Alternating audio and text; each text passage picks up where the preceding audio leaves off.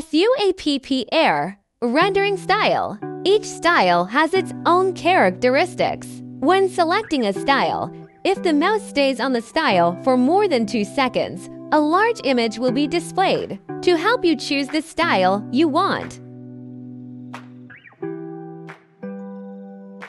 Click the icon in the upper right corner to zoom in on the style options. Here you can collect commonly used or favorite styles. You can quickly choose the next time you use it. When rendering an aerial view of the city, we can choose Urban Aerial. It should be noted that the generation of AI is random.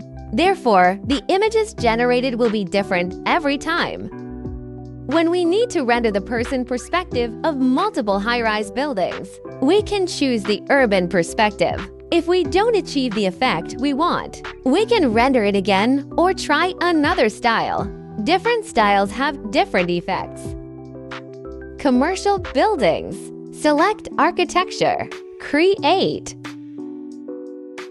Change a style. Style 03 can make buildings have more rounded corners. In addition, when rendering office buildings. If the number of building floors is determined, we can use lines to express the number of floors in the building block. I will help us identify the number of building floors. Educational can be selected when rendering schools. There are red bricks in the original picture, and we can choose the style for.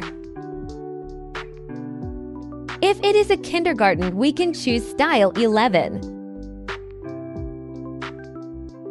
When we want to render a factory building or don't need too much glass curtain wall, optional industrial buildings. We can choose residential style when rendering villa. There is no single answer to rendering style. Rustic building is also available. Or landscape design. For classical architecture, we can use residential style 04 or landscape design. There are also many styles of interior design. Try other styles.